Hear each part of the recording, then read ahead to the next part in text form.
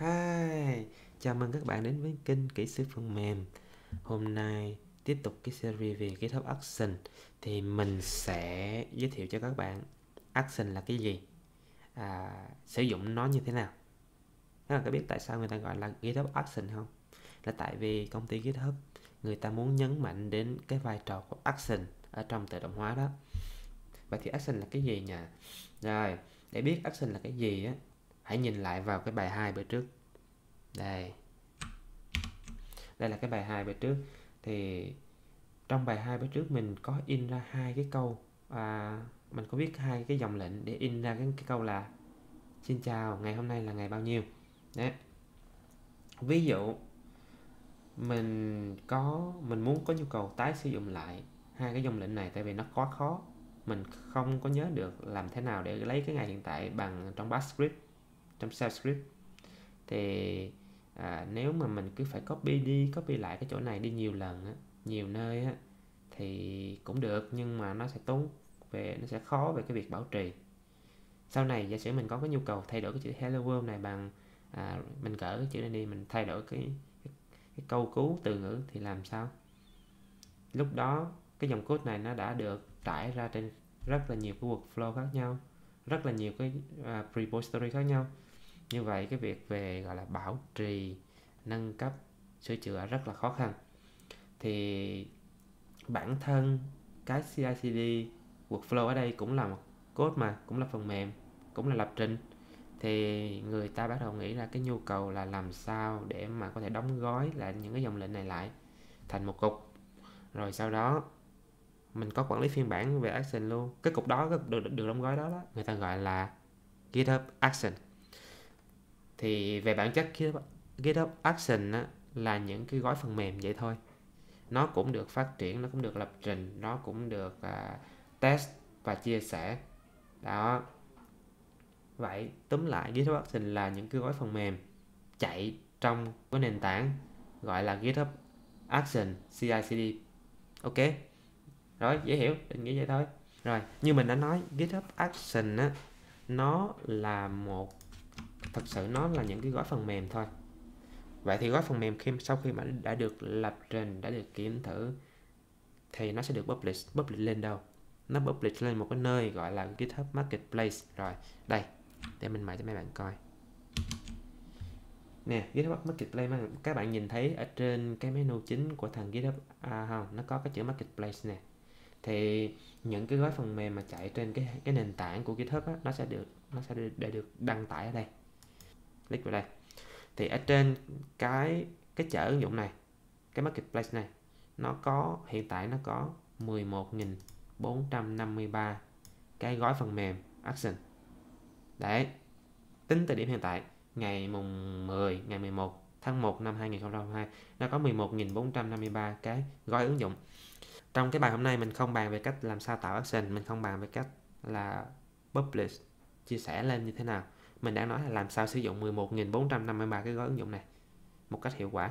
À, và mấy bạn biết cách xài vậy thôi nhé thì để mà ví dụ cho cái đó để mà ví dụ cái cách xài như thế nào đó thì mình có một cái ví dụ trực quan. Đây đây là một cái dự án mình tìm thấy trên GitHub nó có xài GitHub Action tạm thời không quan tâm đây là cái dự án gì luôn mình cũng chẳng quan tâm luôn. Mình muốn nói là về cái pull request á. Thì trong cái pull request này có một cái thú vị là cái code coverage này đây code coverage report. Cái này nó được tự động phát sinh ra bằng GitHub Action. Mỗi khi mà lập trình viên họ code họ đẩy code lên cái pull request thì GitHub Action nó sẽ à, check cái code đó nó chạy unit test và nó đưa ra cái báo cáo về à, về về về coverage. Coverage nếu các bạn nào lập trình về về về à, làm lập trình thì, thì tất nhiên ai hầu như các bạn đều hiểu coverage là cái gì. Có nghĩa là một cái chỉ số nó báo ra cho mình biết là bao nhiêu phần trăm code của mình đã được test. Vậy thôi đã được đã được kiểm thử. Unit test. Đó. Thì đây là một cái ví dụ rất là thú vị. Nó in ra một cái report rất là đẹp ha. Thực sự nếu mà mấy bạn làm cái việc này bằng tay á, nghĩa là thuộc thủ công á, tự viết ra các cái dòng á, thì nó sẽ rất là dài dòng. Nhưng nhờ GitHub Action mình sẽ cho các bạn thấy là mình chỉ cần một dòng lệnh duy nhất là mình có thể tạo ra được cái này. Một dòng lệnh duy nhất. Rồi ví dụ luôn nhé. Bây giờ mình sẽ đi vào demo. Bây giờ mình không muốn đụng vào trong cái workflow của bài cái bài 2 bài 1 bữa trước mà mình đã nói cho nên mình sẽ làm một cái workflow mới. À, chạy để tính ra cái coverage cho cái app cho cái code của mình cái code ngắn ngẩn của mình này nè.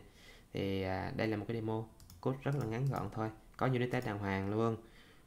Thì mình sẽ tạo ra một cái workflow mới nha. Đó workflow mới này có tên là coverage vậy thôi. Rồi à, cái name nó mình có thể để là coverage.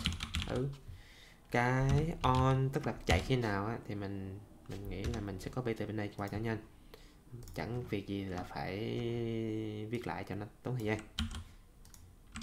Rồi à, tất nhiên là việc cấu hình về nhánh hay là này nọ thì đơn giản hơn nhiều. Mình muốn nó lúc nào cũng chạy ở trên cái nhánh main vậy thôi. Hoặc ừ hoặc là chạy trên pull request. Khi mà có ai đó mở pull request hoặc là đẩy code lên từ từ local lên trên github hoặc cũng có thể chạy local uh, chạy không phải là local mà gọi là chạy uh, thủ công. Rồi bạn nào muốn biết muốn hiểu về ba cái này thì coi lại bài trước. Mình có để link ở trong cái video. Rồi. Tiếp theo đây là phần chính nè cái job cái job của mình là cái gì? Cái job của mình nó như thế này.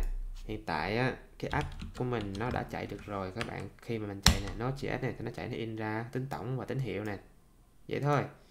À, nhưng mà mình cần chạy cái job mình cần chạy là gì? Chính là npm test này nè. Đó. Thấy không?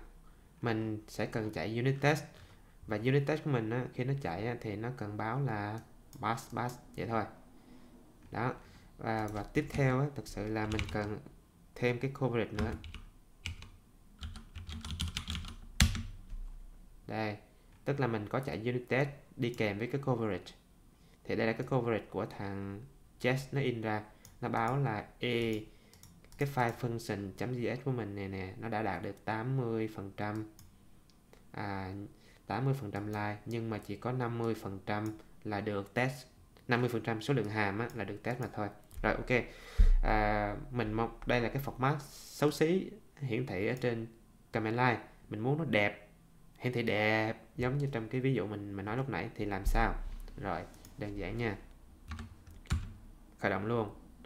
Đầu tiên muốn mình phải tạo ra một cái job nó có tên là coverage report. Ok. Trong cái job này á, mình cần run zone. Hiện tại thì đơn giản thôi. Mình cứ để là Ubuntu Latest tại chưa cần suy nghĩ về nhiều về cái này. Đó, mình muốn chạy code mình trên máy Ubuntu tại vì cái hệ điều hành hiện tại mình đang làm cũng là Linux. Rồi, tiếp theo nó có những step nào? Step nào ha step 1 ngay step 1 luôn, là mình cho các bạn coi là dùng dùng code như thế nào luôn đầu tiên, muốn chạy unit test thì đầu tiên là cái workflow mình nó phải download cái code của mình về đã chứ, đúng không? Thì hiện tại của mình mình mình đang có code ở trên máy rồi nè, thì mình chạy được. Nhưng mà cái workflow là một cái máy ảo nó đâu có code gì trong đó đâu. Thì mình phải download cái code về cái máy máy ảo đó trước. Cái máy ảo mà chạy workflow này nè, thì mình làm sao? Mình khai báo là muốn sử dụng cái action đó thì mình nói là use. Và cái tên của cái action mà mình muốn sử dụng, cái định danh mà mình muốn xài hiện tại là action check out. Check out nhé và xài phiên bản nào? Tại vì nó có phiên bản mới, phiên bản cũ. Version 1 version 2 hiện tại mình muốn xài phiên bản mới nhất. Rồi. Vậy thôi. Mình không cần khai báo bất cứ cái gì khác là nó chỉ một dòng duy nhất như thế này là nó đã download cho code về rồi. Ở đây mình không có muốn chi tiết quá về cái action này. Cái action này nó là một cái action rất là phổ biến. Mặc định luôn. Khi mà để như này thì người ta đã set up sẵn những cái thông số quan trọng cho cái action này. Và nó tự động nó chạy, nó download cái code mới nhất từ cái nhánh pull request mà mình đang đang test, vậy thôi. Sau khi mình chạy à mình download được cái code về về cái máy ảo rồi thì mình làm gì? Thì có phải là mình cần cài đặt các cái package bằng bằng cái cô coi dùng lại là npm install không? Rồi, thì mình sẽ làm một cái bước tiếp theo là npm install. Rồi, tiếp bước cuối là cái bước mà chạy chạy cái unit test và phát sinh ra cái coverage code này. Đây, chạy cái dòng lệnh này nè, chạy cái dòng lệnh npm test coverage này nè. Ok chưa? Thì để mà để mà generate được cái action nó, cái cái cái report nó đẹp, giống như ở bên đây, thì mình cần sử dụng một cái action gọi là just coverage report. Ở đây nó có cái link luôn nè, mấy bạn thấy không? Chúng ta có thể tìm thấy nó từ cái marketplace bằng cách search chat coverage report. Enter. Đây đây chính là cái mà mình đang tìm. Nó có 83 sao luôn nè, được sử dụng nhiều nhất luôn. Đấy, click vào đây, kéo xuống dưới, đọc cái phần giới thiệu. Đây là cái phần hướng dẫn sử dụng nè, các bạn thấy rất là đơn giản. Cái việc của mình là sao? Cái việc của mình là báo là, nó nó có cái phần action check cao y như mình luôn nè đó rồi à, đối với mình thì mình chỉ cần việc là copy lại và xài thôi. Đấy đây là cái cách mình làm với action luôn nha. Nghĩa là tìm kiếm trên marketplace đọc cái hướng dẫn sử dụng copy code bỏ vào trong code của mình. Đây mình chuẩn bị commit cái coverage này. Mình ghi là mình tạo cái nhánh là demo coverage và mình comment là gì ha? Comment là um, demo unit test and coverage report rồi publish. Sau khi mình đẩy code lên á, thì mình cần tạo cái pull request. Mình sẽ mở cái pull request thì bắt đầu workflow của mình nó mới được trigger. Thì ngay khi mình vừa kích hoạt cái pull request cái hai cái workflow của mình một cái từ bài trước bài hello world nó chạy và cái bài thứ hai là bài coverage nó cũng chạy luôn. Mình muốn xem chi tiết thì mình có thể click vào đây. Rồi đã chạy rồi xong luôn. Rất là nhanh rất là nhanh. Khi quay lại cái pull request của mình thì các bạn có thấy để là nó cái report nó đã được in ra rất là đẹp. À, lưu ý cái threshold lúc nãy mà mình mình set up nó là 80 phần trăm á thì nó chỉ tính ở trên cái cái giá trị cuối cùng này nè cái license nè. Nghĩa là tổng số dòng mà được bao hàm lớn hơn 80 phần trăm là pass thôi. Cái code của mình hiện tại thì nó đã trên 80 phần trăm rồi cho nên là nó pass. Nếu mà mà thấp hơn thì nó mới fail. Còn những cái cái giá trị bên đây ví dụ statement branches function nó chỉ mang tính tham khảo tham chiếu. À, đó. Còn cái bắt buộc nghĩa là mình setup 80 phần trăm mới pass cái unit à, cái pull request nó mới pass thì thì mình set up ở cái phần gọi là threshold. Đây, đây cái threshold này nè.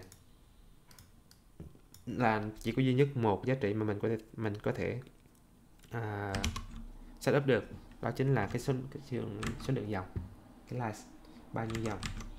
Rồi bây giờ khi mà nhìn vào các cái dòng lệnh để khai báo sử dụng cho một cái action á, à, ở trên màn hình nó là một cái ví dụ cụ thể nhưng mà nó cũng sẽ tương đồng cho những cái action khác. Đó chính là gì? Đó chính là cái việc dùng từ khóa use.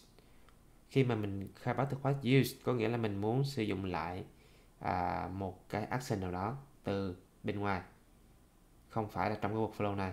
À, và mình có thể khai báo cái version của nó bao nhiêu.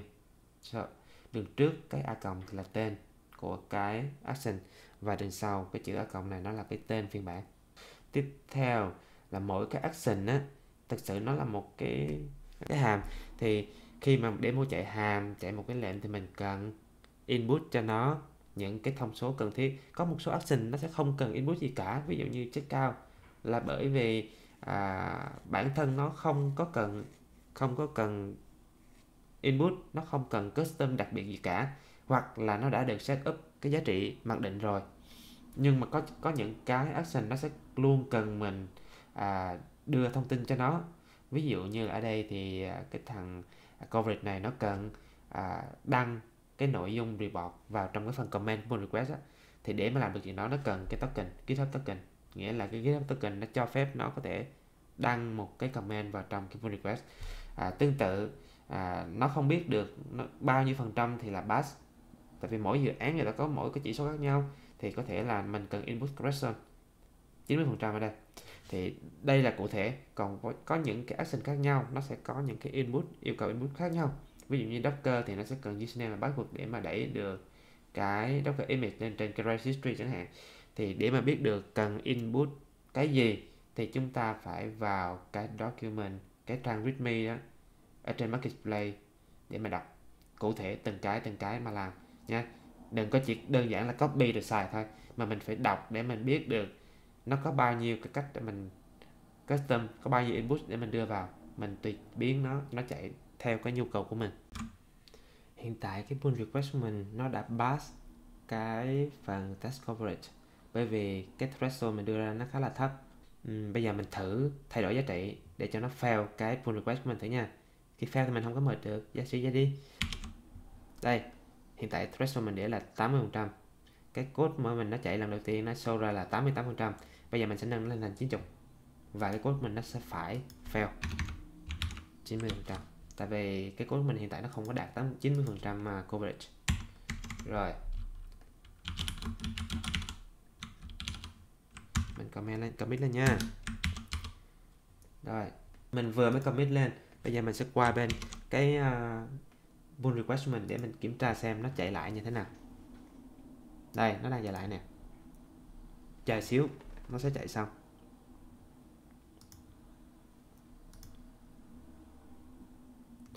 rồi nó đã chạy xong rồi. Các bạn thấy không? Sau khi chạy xong thì nó sẽ bị fail và nó bảo đỏ như thế này. Đó fail như thế này và cái pull request mình hiện tại đang ở trạng thái fail. Thì nếu mình là developer, đơn giản thôi, là mình cần phải viết thêm unit test để mà bao hàm bao hàm cái những cái dòng code của mình. Đó.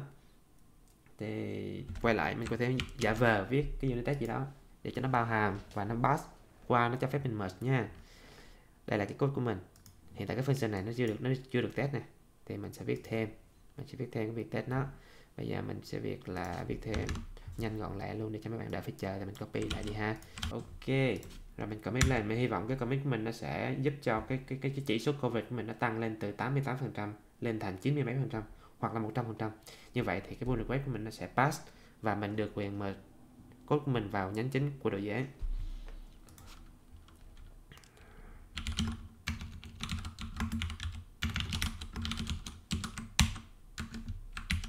Rồi mình vừa mới đẩy code lên thì bây giờ mình cần phải đợi cái coverage của mình nó chạy lại.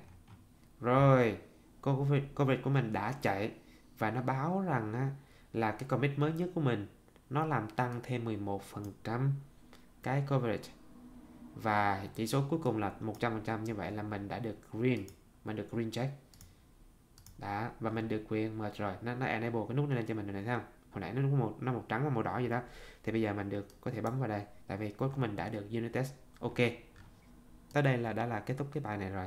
Thì mình hy vọng là mấy bạn đã, bây giờ đã biết action là cái gì tìm action ở đâu và sử dụng action như thế nào. Một cái lưu ý cuối cùng về GitHub Action đó là về bảo mật. À, những cái action mà được đăng tải trên marketplace đó ai cũng có quyền đăng tải nó không có được uh, scan hay là kiểm tra bảo mật an toàn gì đâu. Chẳng ai làm việc đó cho, cho chúng ta cả ngoài chúng ta. Cho nên khi mà sử dụng action các bạn nhớ thứ nhất kiểm tra về creator ai là người tạo ra cái ai là người tạo ra cái action này. Vào GitHub của creator để kiểm tra xem họ có thường xuyên làm về open source hay không. Tài khoản của họ có được nhiều người follow repository của họ có được nhiều uh, được nhiều người star hay không.